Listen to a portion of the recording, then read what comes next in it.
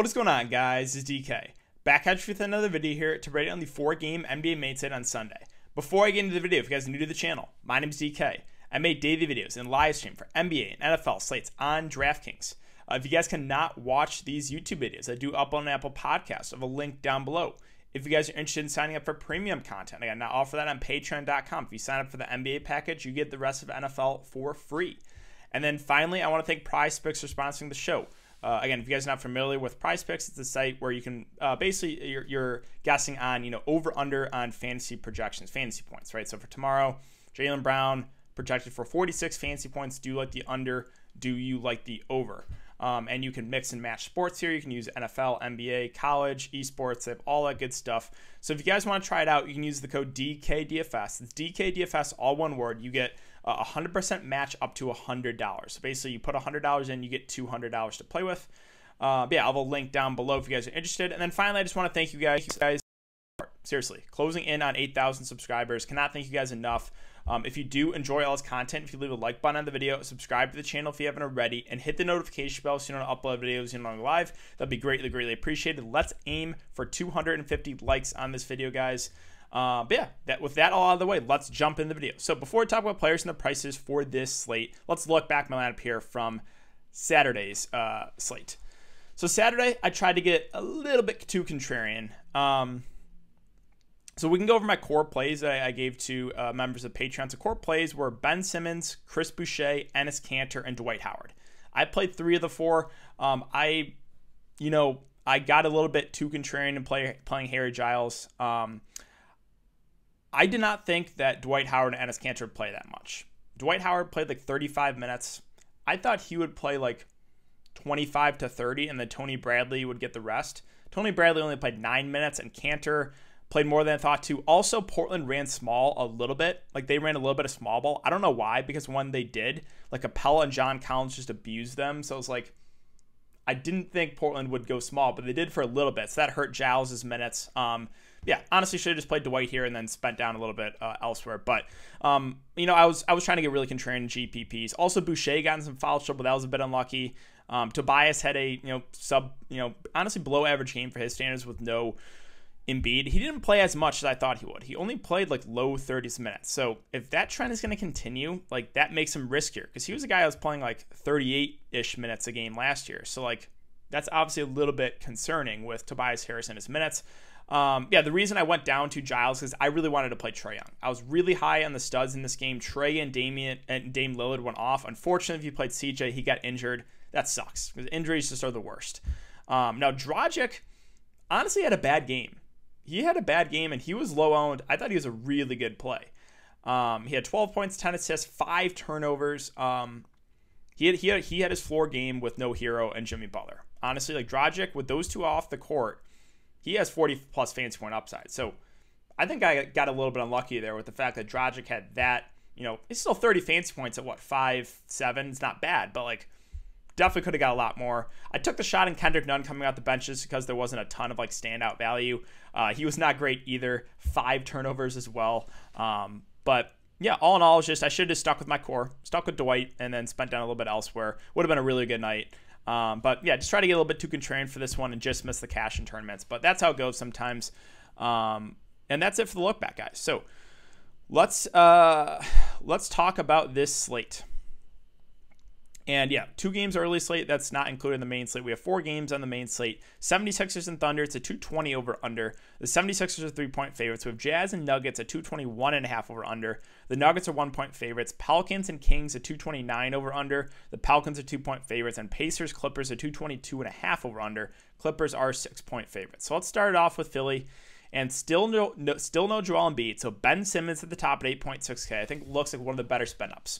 He honestly had, again, subpar game for his standards. Uh, only 44 fancy points with no Embiid. Expected a little bit more. Um, he had only one block, no steals. Normally, he's a guy that can get you like a couple blocks, a couple steals. So I think Ben Simmons is one of the safer plays on the board. He's still underpriced with no Embiid, right? He played 36 minutes. I expect mid 30s minutes for, for Ben Simmons. So um, I really do like him at this price. I think he's a really safe spend up. Good matchup, too. So yeah, I, I do like uh, Ben Simmons a good amount. Now, again, I mentioned it in uh, just now, but Tobias Harris, the minutes, right? So only 32 minutes in that game. That's not great. right? 30 there against Miami. Like the minutes have been a little up and down. So if I knew Tobias Harris was going to play 38 minutes, I would really like him because that's what I thought he would play tonight. He only played 32.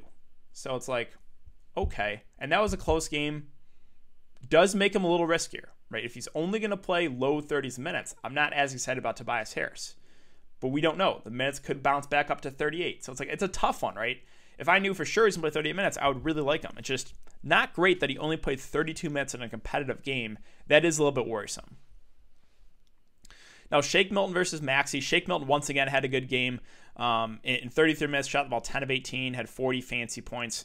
I think um, right now he is probably the safer option compared to Maxey. Um, you know, both are at similar prices. Maxey only played 25 minutes, so it's like they might go with a hot hand, but right now uh, Milton's been playing a little bit better. So I think Milton's definitely the safer option over Maxey. You can still go Maxey, but that'll be a, a, a contrarian move for sure. Um, Danny Green, I'm just not playing him at that price. I know the minutes will be there, but I just don't want to do it. And Dwight Howard. So I was a little bit surprised he played 34 minutes tonight. I, I did not think he would play that many minutes. He did. So if Dwight Howard's going to play mid 30s minutes, hard to get away from him at 4.8K with no Embiid, right? And this matchup, too, should be able to have his way against like Isaiah Roby and Mike Muscala. So I do like Dwight Howard to get him out. Um, my one concern is, you know, that OKC front court is a little bit smaller. So maybe they could run small ball more on this one. So like that is a slight concern, but it's like even if he only plays like I don't know 25 to 30 minutes, he can probably still get there at the price. So I think Dwight is is a safe value play for sure um, at, at that price point. And then everyone else can. Bradley, I thought he would play a little bit more off the bench. He didn't. He only played nine minutes, so don't think we can go there. Um, and that's that's about it for Philly. So let's move on to OKC. Um, SGA at the top at 8.3K. I think even in a tough matchup is, is firmly in player. There's no Al Horford. Offense is just him, right? It just runs through SGA. So um, I think he's a, a, guy that has a good amount of upside. If this game stays close, most likely because of SGA. So um, I think he is a, a, good spend up there at the top. Again, not as good of a matchup here, but still like him. Basically, just been up and down. Um, I just don't think I can do it right now yeah, just minutes up and down, production, not shooting the ball well either. Unless you're trying to get super contrarian, I just don't think I can do it.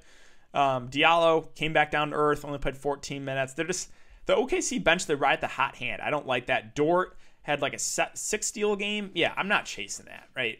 He had 46 fantasy points. He had six steals. He shot the ball well. Let's look back and, and see what he's done so far this year 21, 15, 18, 17, 12, 18, 18, 22, 12, and then 46. So I remember I got ripped on. Uh, some guy in the comments was, "Where is uh, Hamidou Diallo?" Because I was like, I don't think I, don't, I was like, no, Fade Diallo, that's chasing, and he had back-to-back 40 fantasy point games. Well, look what he's done since 24, 17, 11, right? So it's like these guys like Hamidou Diallo, Lu Dort are not 40 plus fantasy point guys. So it's like, eh, right? Don't love either. George Hill's at 4 4. Did play 33 minutes uh, the last game, which is good to see, but the game did go to overtime. Again, like, I don't know if we have to go there. The guy that I do like is, is Isaiah Roby at 4 2. With no Horford, he should start at center. He did foul out, too.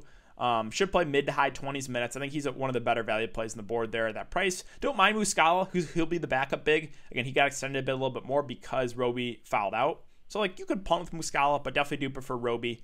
And that's it. Like Kenrich Williams did get some run off the bench. It's just again they're gonna go with a hot hand. I just I don't know if I trust these OKC bench guys. Like probably one of those guys will have a good game, but I just don't know if you have to go there.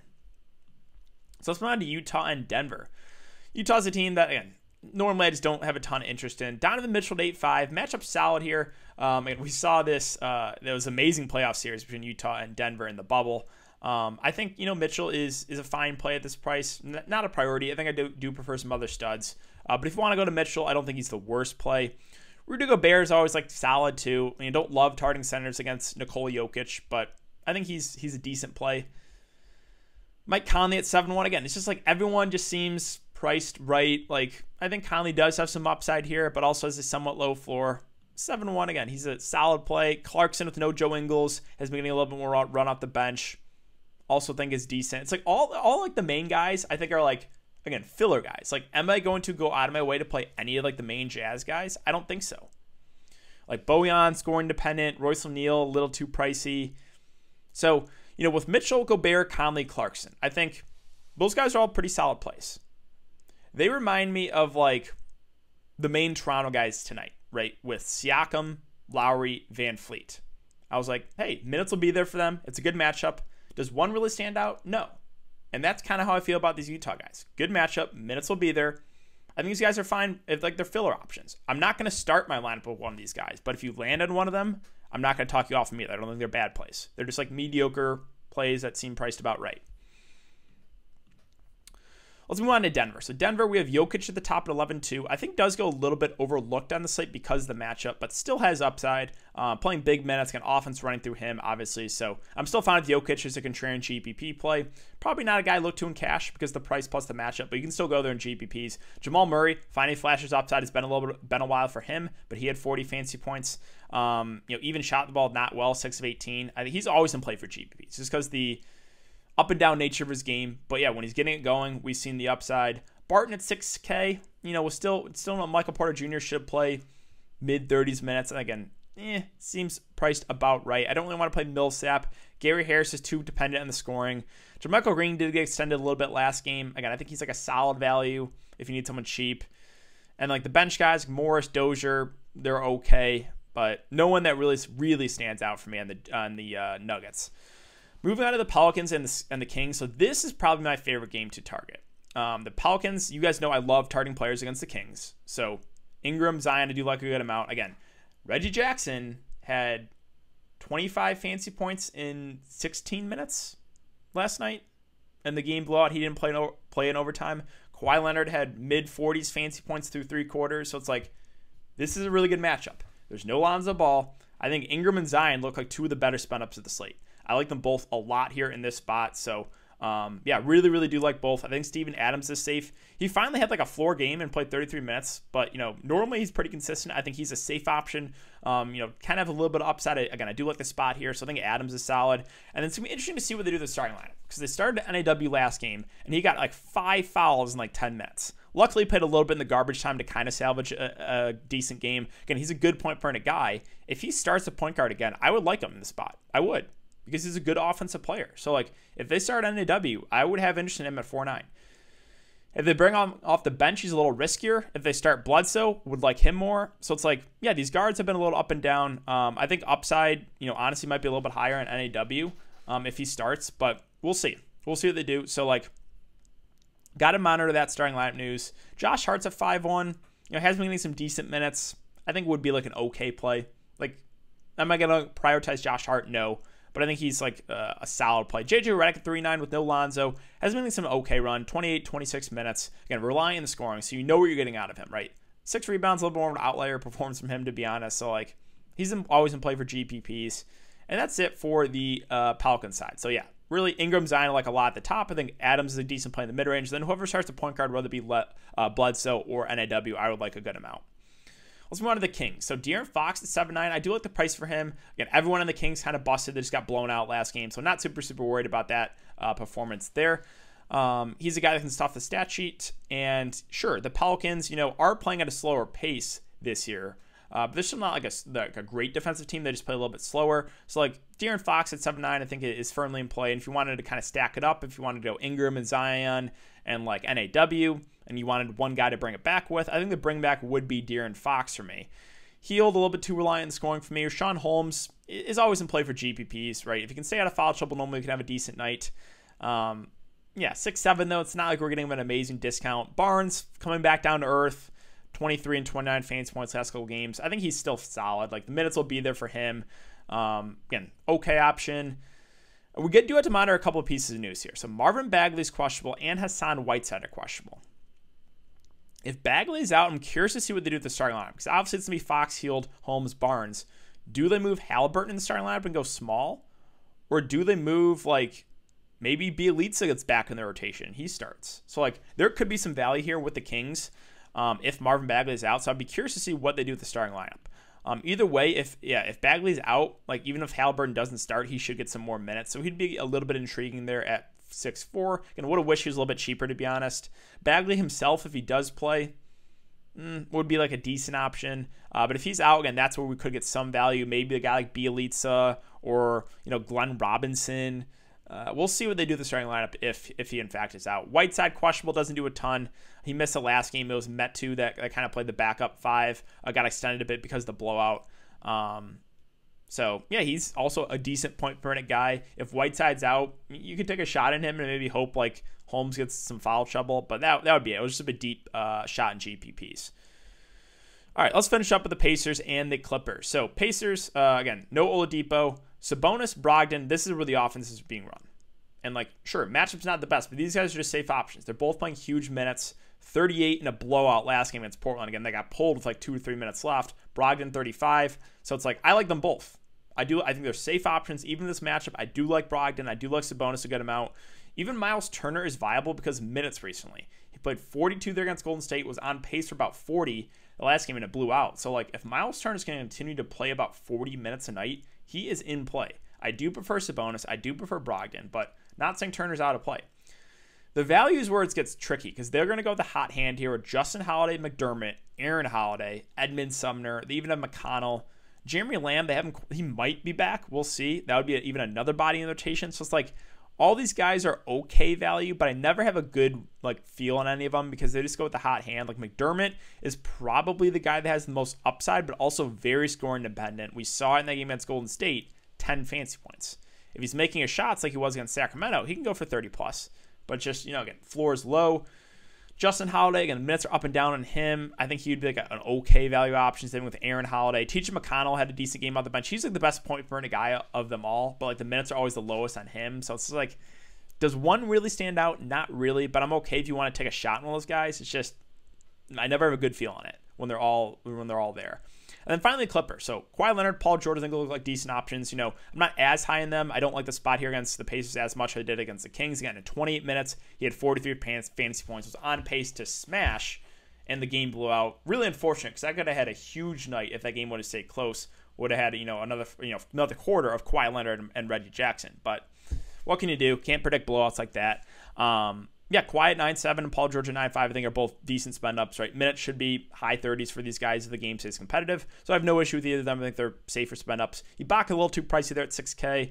Uh, Batum, eh, I'll pass. Lou Williams, questionable. Pat Beverley back. Uh, he'll start. I think he's like, again, yeah, 4 8 is not an amazing price for him.